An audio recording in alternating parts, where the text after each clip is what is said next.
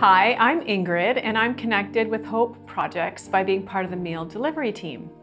Once a month, I come to church and pick up these bags and I deliver it to a couple people's homes, and um, they usually get prepared meals, some diapers, and some groceries, and that's what we do.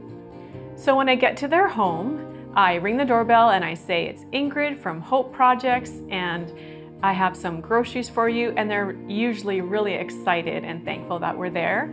And usually um, at this one place, I have these the kids that come to the door, and they're so excited to see what's in the bags. They grab my hand, they pull me into the place sometimes, and, and they're excited to see what's in the bags that we've brought them. So the impact that it's made on me is that I didn't realize the blessing that I would get from the connection that I made with um, especially one of the young moms. So after a year of delivering and making this connection, she actually initiated the friendship by inviting me in for tea.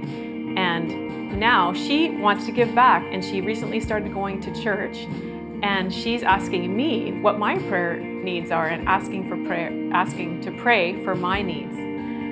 So it's been a really neat blessing for me as well.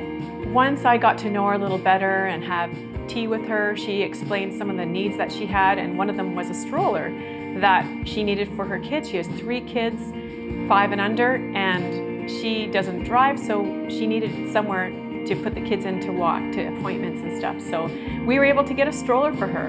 And then when they moved, she told me that they didn't have anywhere to put their clothes, and we had a dresser at our house that she could have. So it was a real neat connection that we made and a blessing for both of us.